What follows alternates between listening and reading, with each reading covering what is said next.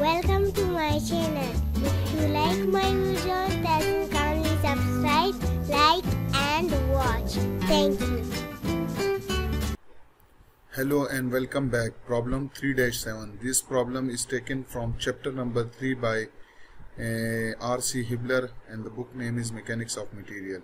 So the statement is a structural member in a nuclear reactor is made up of zirconium alloy.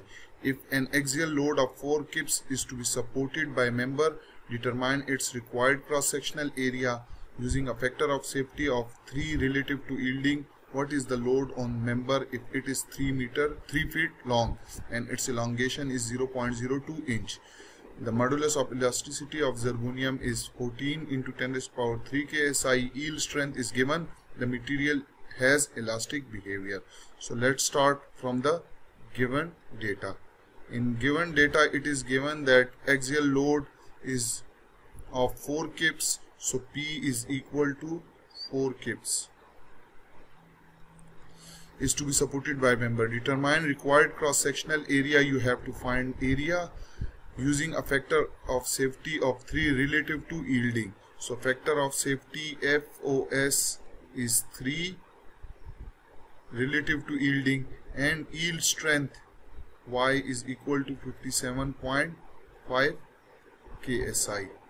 Also modulus of elasticity E is given E of zirconium is equal to 14 into 10 raised to power 3 ksi here and elongation is 0.02 inch. So change in length or elongation is 0.02 inch. So what you have to find is in first part it is given to find the uh, required cross sectional area. So first part is to find the required cross sectional area. And in second part it is given that what load on the member if it is 3 feet long. So you have to find P for L is equal to 3 feet. Clear? So let's start with the solution. In first part it is give it is um, asked to find the cross-sectional area. So as we know that stress is equal to load per unit area. Clear? So implies that area is equal to P divided by stress. Here and this stress should be allowable stress. Now we do not have allowable stress but we have given factor of safety and we know that factor of safety is equal to yield strength divided by allowable strength clear? Because factor of safety relative to yielding that's why we are taking the yield strength. So from here we have factor of safety 3 we have yield strength that is 57.5 ksi into 10 raised to the power uh, 3 clear? Or if you are going to take as KSI so no need to write this 10 to the power 3 divided by allowable stress so allowable stress from here the allowable stress is 57.5 divided by 3 which comes out to be 19.17 so sigma allowable is equal to 19.17 KSI. Now we have allowable stress, we have the load as well that is given over here 4 kips. So you can calculate the uh, cross-sectional area. So you have to put the allowable stress in this formula. So A is equal to P is 4 kips. So 4 divided by allowable stress is 19.7 19.17 so from here you will get 0 0.2087 square inch. Clear? So cross sectional area is 0 0.2087 inch square. So this is the answer of part first. Now in second part it is given that what is the load on the member if it is 3 feet long and elongation and all the data is given. So from here we will calculate we will give we have been given elongation. I will write again we have elongation that is given as 0.02 inch.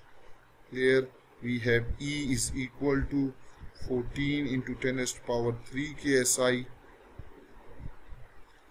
clear?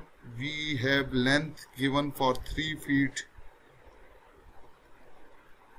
I will show you length is 3 feet long so you have to find load P.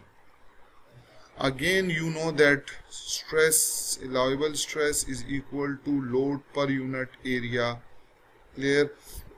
So what we will do is that we will find this allowable stress. How we will find? First we will find the strain. And we know that strain is equal to change in length divided by original length so change in length is 0.02 inch clear and length is 3 feet. But you have to convert it into inch. So 1 1 feet is equal to 12, 12 inch.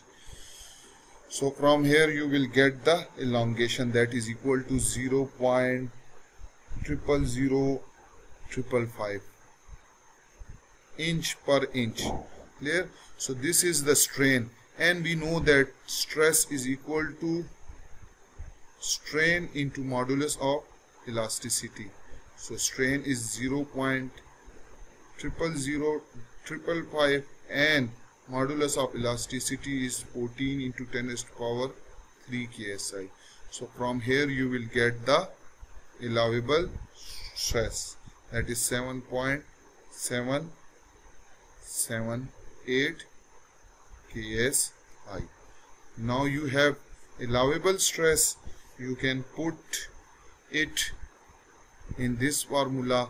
So 7.778 ksi is equal to p and the area cross sectional area is this one 0.2087 so from here you can find the load. So p will be equal to 0.2087 2087 multiply by 7.778 that will be equal to 1.62 k. So p load for length 3 feet is 1.62 k.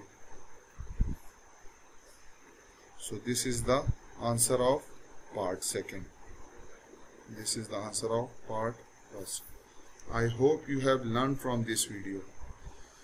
Again, thank you for watching.